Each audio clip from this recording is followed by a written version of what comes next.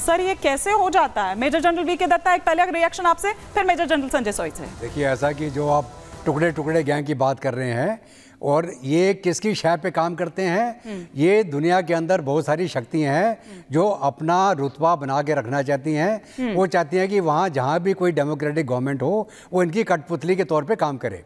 हिंदुस्तान में भारत में आज के दिन में एक अ, एक अच्छी सरकार है तगड़ी सरकार है जो प्रधानमंत्री मोदी साहब के नेतृत्व के नीचे काम कर रही है।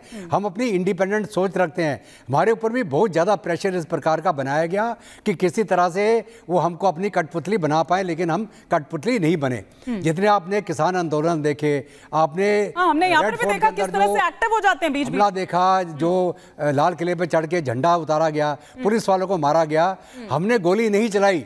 ना हमने गोली चलाई किसके ऊपर? किसानों के ऊपर ना उन खालिस्तानियों पे जो चढ़े लाल किले के ऊपर। वो यही चाहते थे कि गोली चले लोग मरे उस एजिटेशन को हाईजैक किया जाए और और सत्ता पलट की जाए। हाँ। यही कार्रवाई इन्होंने डीप स्टेट ने जो एनजीओ हैं जॉर्ज सोरस है बांग्लादेश में बहुत सारे एनजीओ हैं।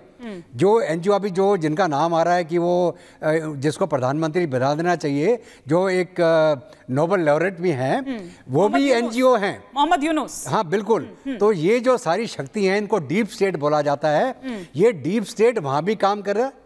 ये हिंदुस्तान के खिलाफ भी काम अभी भी कर रहे हैं। और हमारे यहाँ भी अगर आपने सुना होगा कई लोगों ने बोला था कि अगर इलेक्शन में ये हुआ वो हुआ तो आग लग जाएगी। तो यही आग लगती है। यही तरीका है इनका। तख्ता पलट करने का। जिस भी देश में तख्ता पलट हुआ यही पैटर्न इस्तेमाल किया जाता है। और जो हो सकता है आर्म फोर्सेस को भी मिला लिया जाए अपने साथ में और फिर वो अपनी एक कठपुतली सड़क और यही हुआ ना एक quick reaction major general Sanjay Soi से भी फिर आगे एक और कि अब आगे शेख हसीना क्या करेंगी उस पर भी। आ, मेजर जनरल संजय सोई क्योंकि देखिए ना एक लोकतांत्रिक देश एक चुनी हुई सरकार और आते हैं आर्मी चीफ और जिस तरह से वो बोल रहे हैं आप मतलब सोचिए कि क्या ये राइट है उनके पास? ऐसा लग रहा है जैसे हमने पाकिस्तान में नहीं देखा है कि सेना ही चलाती है सब सेना ही सब फ्रंट पर होती है। कुछ वैसा ही नज़र आया था ऐसा लग रहा था कि पपेट है नहीं बिल्कुल बिल्कुल हिमानी जी जो आप कह रही हैं सही कह रही हैं क्योंकि जिस तरह से माहौल बना है ये एक रातों रात ये माहौल नहीं बना है। इसके लिए एक नैरेटिव सेट किया जाता रहा। धीरे धीरे माहौल बनाता बनाते गए।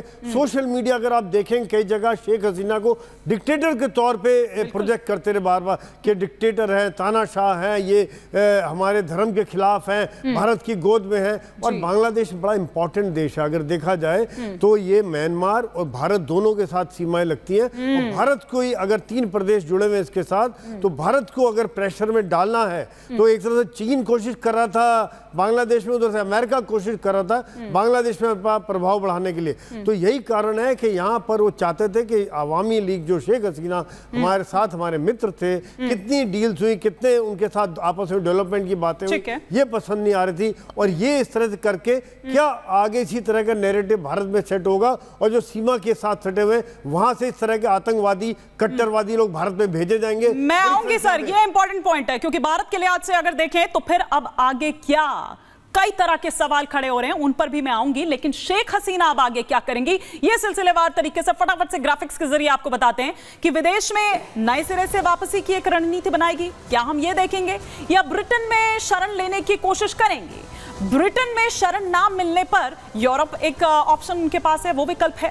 फिनलैंड समेत कुछ देशों से बात हो रही है, लेकिन क्या हम देखें कि अब आगे वो क्या उनके पास ऑप्शन है? वो वो ऑप्शन हमने दिखाए, क्या वो उनकी रणनीति होगी?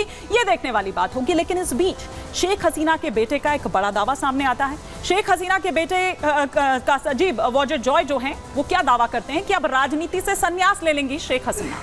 बांग्लादेश में जो कुछ हुआ, उससे हम बहुत निराश हैं। जब शेख हसीना ने देश की सत्ता संभाली थी, देश में बहुत भ्रष्टाचार था।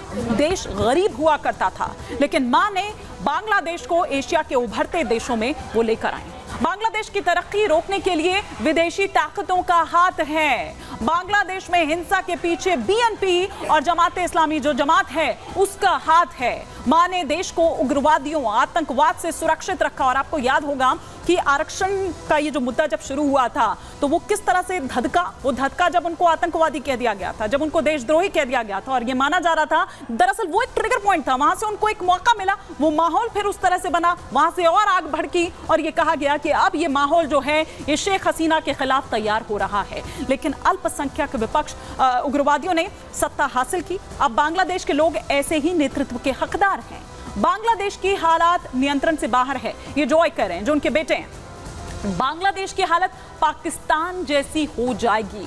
पाकिस्तान, तालिबान, आप श्रीलंका कहिए कि किस तरह से वो जो तस्वीरें सामने निकल कर आ रही है, वो बिल्कुल वही वही तालिबान पर जब आप देखिए कि किस तरीके से उसने जब कब्जा किया था अफ़गानिस्तान पर तो ऐसी हालात, ऐसी तस्वीरें वहाँ से निकलकर सामने आई थी। आपने श्रीलंका से भी देखा होगा कि इसी तरह की तस्वीरें सामने निकल कर आई। लेकिन आइए, अब हम आपको बताते हैं, क्योंकि देखिए, बैठकों का दौर इधर भारत में भी जारी है। हम अपने एक्सपर्ट से तो क्विक रिएक्शन लेंगे ही, लेकिन सर्वदलीय बैठक जो यहाँ हुई, उसमें विदेश मंत्री ने क्या बताया, ये फटाफट से हम आपको बता देते हैं कि सरकार बांग्लादेश आर्मी के टच में है और नाजुक स्थिति चुकी है, लेकिन जो भी स्थिति होगी, जैसी स्थिति होगी, वो बताएँगे। वो बताया जाएगा। बीस हज़ार भारतीय छात्र लौट चुके हैं। साथ ही साथ शेख हसीना को थोड़ा वक्त देना चाहते हैं। इंतज़ार कर रहे हैं कि शेख हसीना क्या चाहती हैं। राहुल गांधी ने पूछा क्या बाहरी ताकत है? उन्होंने कहा कि इसके पीछे वो ये कह रहे थे। और जयशंकर ने यह कहा कि ऐसा कहना अभी कुछ भी जल्दबाजी होगा। विपक्ष ने यह कहा कि हम सरकार के साथ हैं। तो ये सर्वदलीय बैठक में किसने क्या कहा और विदेश मंत्री ने बताया कि किसने क्या कहा। विपक्ष ने कहा कि हम सरकार के साथ हैं। उनके साथ खड़े हैं। लेकिन आइए हम आपको दिखाते हैं यहाँ तो बैठकों का दौर जारी है लेकिन बांग्लादेश की जब हम चर्चा यहाँ पर कर रहे हैं और थोड़ी देर पहले यही हम आप, आपको बता भी रहे थे कि ये जो हालात हैं वो इतने ज़्यादा कैसे बिगड़ गए? आरक्षण की मांग को लेकर या आरक्षण की बात से दरअसल ये मुद्दा था जब ये शुरू हुआ था। लेकिन धीरे धीरे किस तरह से स्थिति और खरीब जो खराब है वो होती चली गई और कैसे ये हालात हो गए? गुस्सा क्यों था? रिजर्वेशन पर फैसले के खिलाफ दरअसल ये जो गुस्सा है, वो निकलकर सामने आया था। इसके अलावा सरकारी नौकरियों में जो 30 परसेंट कोटा है, ये इसके खिलाफ गुस्सा था।